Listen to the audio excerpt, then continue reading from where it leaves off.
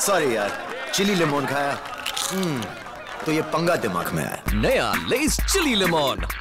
Naughty lemon और wicked chillies का झटका। मतलब जिसने खाया उसे पंगे का आइडिया आया।